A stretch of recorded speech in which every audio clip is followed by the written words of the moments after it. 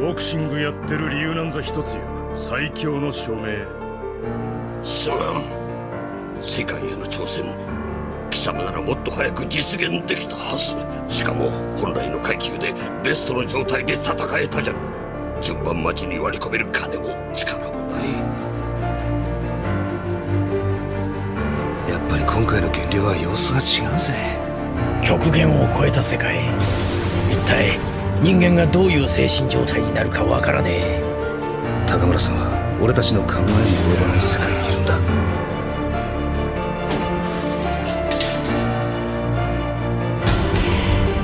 154ポンド。リミットいっぱい。失礼だな。まるでミイラじゃないか。今は落ち着いてるよ。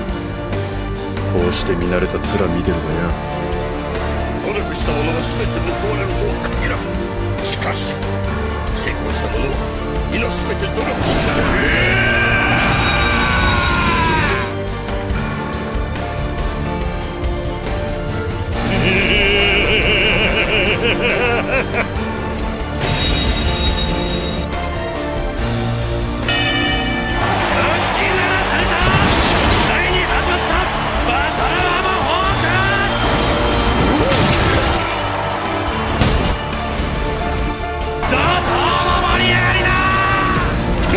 に貼り付けにあった